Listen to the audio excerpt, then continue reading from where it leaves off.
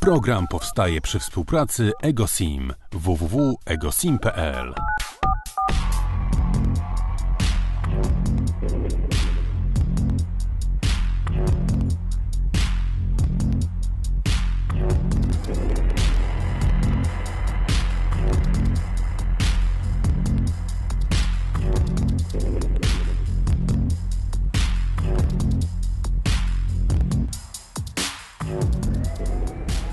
Cały czas oglądamy czwarte oko podróżnika na żywo w internecie i w Kosmos Kosmos. Czy są Państwo z nami?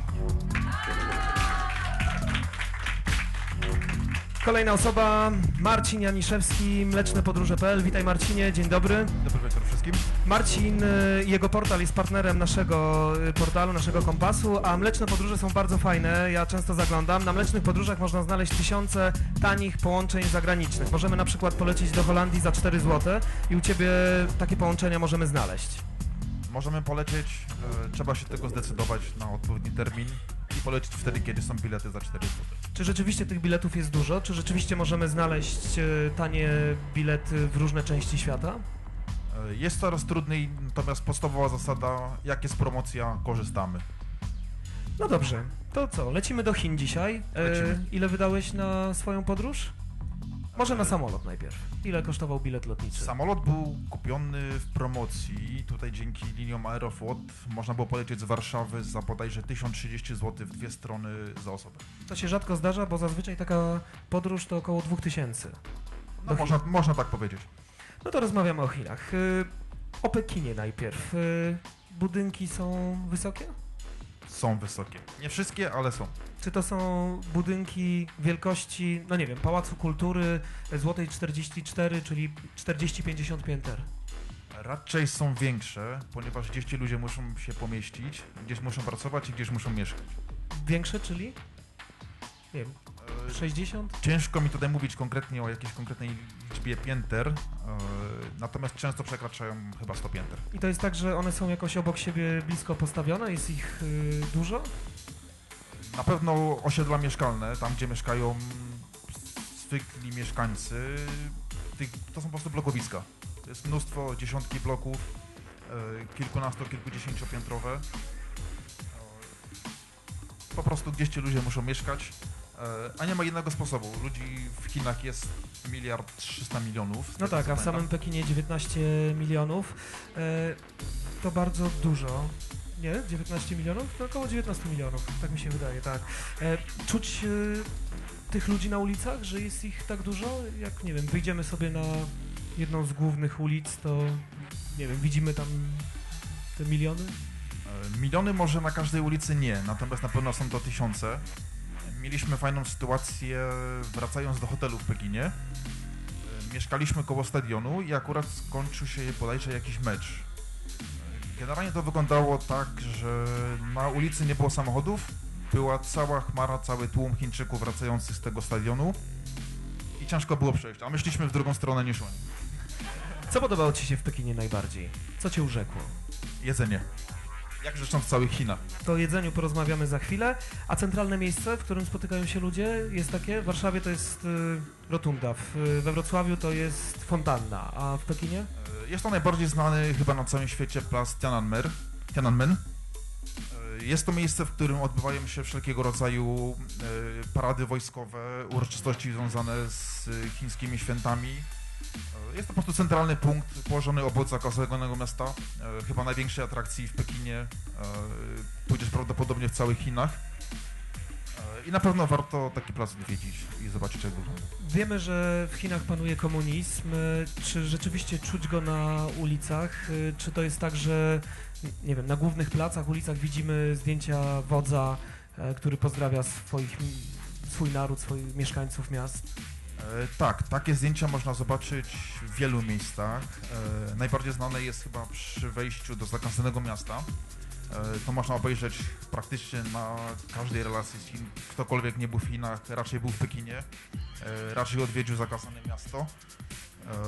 No i to zdjęcie musi się pojawić na, na takiej relacji, ponieważ no nie, ma, nie ma możliwości, aby go nie zobaczyć. No dobrze, to odejdźmy na chwilę od Chin. 7200 schodów. E, Gdzie i czy robi wrażenie? Nie wiedzieliśmy, że będzie aż tyle. E, Spodziewaliśmy się tysiąca z groszami. E, Wyszło, że jest grubo ponad pięć razy tyle. Mówimy o górze Taishan, jedna z pięciu świętych gór w Chinach.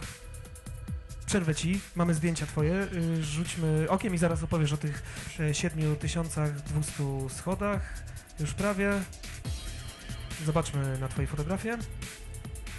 Tutaj mamy Co to jest? Pekin, zakazane miasto, jeden z wielu budynków. Widok na całe zakazane miasto jest to bardzo duży obszar. E, Na zwiedzanie trzeba poświęcić chyba cały dzień. Przekładowe jedzenie, zupa ze wszystkim. Mięso, warzywa, makaron. E, Tutaj ulica w kantonie. E, Mnóstwo Chińczyków, jak było widać. Przykładowe bilety kolejowe. Jedyne rzeczy w alfabecie arabskim jest, były po prostu cyferki. E, Plac w Szanghaju, można wypożyczyć łódkę, popływać po całym jeziorze. E, Ten sam park. Jedna ze świątyń, zapalamy kadzidełka w liczbie nieparzystej. Nie wolno, ponoć to przychodzi, przynosi pecha, jeżeli zapalimy liczbę parzystą. Przykładowo jedzenie na ulicy, tutaj frytki z czymś dziwnym. Nie wiem co to było. Marcin Janiszewski, cały czas w Kosmos Kosmos. Czwarte oko podróżnika trwa. W Polsce obraz Chińczyków jest taki, nieprzes- nieprzestrzeganie praw człowieka, bieda. E, czy rzeczywiście jest tak, że ludziom żyje się tam ciężko? To jest obraz skierowany przez media, tak jest moje osobiste zdanie. E, Nie byłem na takiej typowej malutkiej wiosce, e, malutkiej w sensie chińskim oczywiście, e, ponieważ mała wioska to nie jest tysiąc mieszkańców, tylko to jest e, 100, powiedzmy 150 tysięcy osób. Natomiast ja odbieram Chiny w zupełnie inny sposób niż to, co pokazują nam media. Nie widziałem tego łamania praw, aczkolwiek podejrzewam, że i rzeczywiście istnieją fabryki, w których ludzie pracują za, za grosze, ale nie, ja tego nie doświadczyłem. No dobrze, to wróćmy do tych schodów. Nie spodziewałeś się, że było ich tak dużo. 7200, jaka miejscowość? E, Góra Taishan w miejscowości o tej samej nazwie, położone około 100 km od miejscowości Jinan, między Pekinem a Szanghajem. Wracamy do ludzi. e, W Chinach, jak wygląda ich codzienne życie? Tak jak przyjechałeś, rzuciłeś okiem na miasto, co zobaczyłeś? Chińczycy wszędzie się pchają. Widać to szczególnie w metrze, na przykład w Pekinie, tudzież e, w Szanghaju czy Kantonie. Jest na to jeden sposób, trzeba się też pchać. I tutaj powiedzmy moja przewaga i przewaga większości Europejczyków, zwłaszcza facetów, jest taka, że jesteśmy po prostu wyżsi i więksi od nich, e, a większy ma zawsze większą siłę parcia. E, Wpadają na kawę na przykład do sieciówek i później pędzą z tą kawą po mieście, czy po prostu biegną przed siebie? W Szanghaju tak i w Pekinie. Na w mniejszych miejscowościach nie. Jedyne osoby, które siedzą w sieciowych kawiarniach to są Europejczycy. Metro dobrze rozbudowane? Bardzo dobrze. Chyba najlepszy środek komunikacji w Pekinie, tudzież w wielkich miastach. E, Pozwala się po prostu przemieścić bardzo szybko, nawet na drugi koniec miasta. E, Dosyć tanio. Kosztuje to bodajże 2 juany za, za pojedynczy przejazd. E, Jeden yuan to jest 50 groszy, czyli taki przejazd kosztuje złotówkę. To bardzo tanio. A mm, y, nazwy y, są w języku chińskim, czy możemy je także po angielsku zobaczyć? Dzięki temu, że była olimpiada w Pekinie, nazwy mamy też po angielsku, natomiast nie wszędzie oczywiście. W mniejszych miejscowościach sporadycznie spotkamy język angielski, trzeba się posiłkować niestety pomocą z hotelu. Jeżeli chcemy gdzieś jechać, tudzież kupić bilet e, na pociąg, najlepiej mieć zapisaną nazwę miejscowości po chińsku. Marcin Janiszewski, Mleczne Podróże i twoje zdjęcia kolejne. E, Szanghaj chyba najbardziej znany widok e, w internecie z tego miasta. To jest miejscowość obok Szanghaju, taka Wenecja można powiedzieć. Jeden z chyba miliona posągów Buddy w Chinach. Widok z jednej z pagód, pagód są też tysiące. Na te ciekawsze warto wejść, ponieważ można z góry obejrzeć chińskie miasto. Stare miasto w Szanghaju. Polecam i nie polecam. Jest to miasto odbudowane kilkanaście lat temu, e, tylko i wyłącznie w celach turystycznych, ale warto jednak odwiedzić. Marcin Janiszewski, mlecznepodróże.pl. Rozmawiamy o Chinach. Czy są pytania do Marcina? Jeśli tak, to proszę podnieść rękę i będzie można te pytania e, zadać. No dobrze, to teraz o psach. Czy to prawda, że w Chinach je się psy? Jadło się. Czy dalej można zjeść? E, Przy czym Chińczycy wierzą i wierzyli, iż mięso psa ma właściwości lecznicze, pomagają, pomaga na różnego rodzaju choroby. Psa raczej jest ciężko zjeść, trzeba wiedzieć gdzie pójść. E, Nie jest to ponoć tania przyjemność. Nie, nie próbowaliśmy, nie jadłem psa. Mam w domu psa, nie chciałem ryzykować. E, Mówiłeś e, o wymysłach turystycznych, że Chińczycy często wymyślają różne rzeczy pod kątem turystów. Tak też jest z kuchnią i z jedzeniem. E, Tak, przeglądając informacje przed wyjazdem, wszędzie przewijają się opisy tego, że można zjeść różnego rodzaju robaki, skorpiony, jedwabniki, wszelkiego rodzaju, wszystko co biega gdzieś tam po podłodze. Można zjeść, natomiast z tego co widzieliśmy, to jest tak czy siak atrakcja turystyczna też dla Chińczyków. To nie jest tak, że oni obecnie jedzą robaki. E, Jedzą normalne jedzenie, czyli jedzą zupy, makaron z mięsem.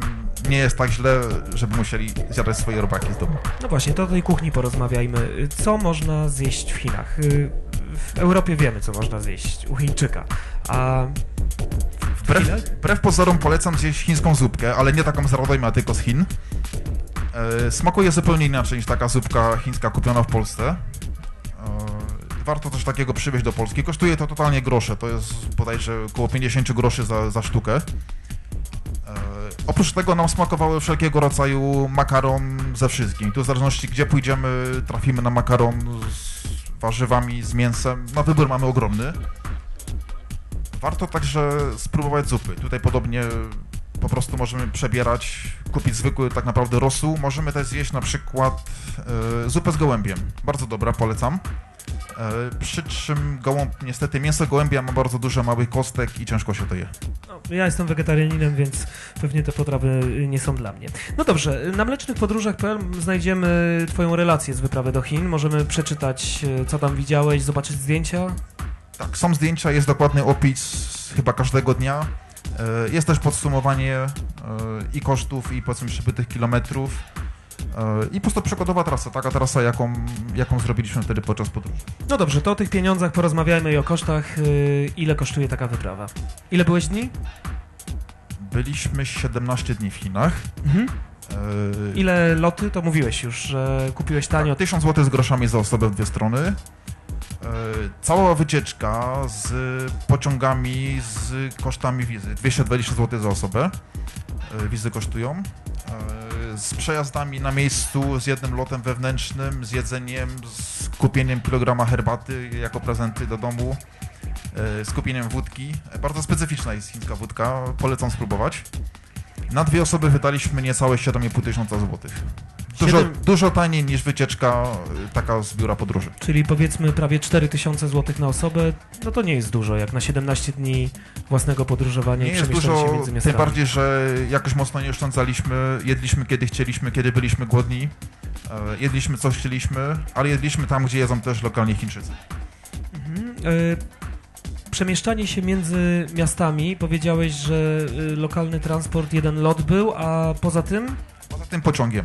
Tutaj szybkim pociągiem? e, Wtedy jeszcze nie było tego szybkiego pociągu, który obecnie kursuje między, między innymi między Szanghajem a Pekinem.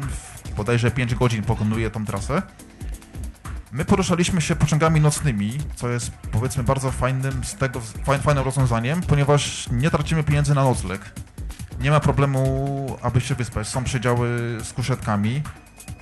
E, Taki pociąg przykładowo między Szanghajem a Kantonem to jest koszt mniej więcej 100-150 zł, więc nie jest to wcale dużo. Tym bardziej, że trasę chyba bodajże, bodajże 1,5 tysiąca kilometrów pokonujemy w 12 godzin, czyli troszeczkę szybciej niż polskie PKP. Marcin Janiszewski, czy są pytania do Marcina o Chiny? Ktoś z Państwa był w Chinach? Proszę podnieść rękę. Parę osób było. Fajnie było? Pewnie tak. Em, No dobrze, Marcinie, bardzo Ci dziękuję. E, Dziękuję Odsyłamy również. jeszcze na Mleczne Podróże. Tam znajdziemy dużo połączeń. To są tylko lotnicze połączenia? Nie tylko, e, ponieważ podróże to nie tylko samolot, znajdziemy też informacje o przejazdach autobusem, tudzież no, promy się raczej nie pojawiają, bo to raczej nie moja działka. Ale generalnie o podróżach. Noclegi, także możemy znaleźć u Ciebie tanie. Jak są jakieś promocje, to, to wrzucasz. Jak, jak jest jakiś fajny hotel, e, tak jak nocowaliśmy w Pekinie w pięciogwiazdkowym hotelu za 25 dolarów, Jak takie coś będzie, to będę pisał. Mleczne, mlecznepodróże.pl zachęcamy i odsyłamy. E, Dla Marcina nasze podziękowanie. Dziękuję, Dziękuję. za wzięcie udziału. Jakbyś wybierał się do Chin albo do jakiegoś innego miejsca, to karta EgoSim. W E, kwietniu się wybieram po raz drugi. O, no to będziesz mógł za darmo odbierać połączenia od przyjaciół. Wielkie brawa, Marcin Janiszewski. Program powstaje przy współpracy EgoSim www.egosim.pl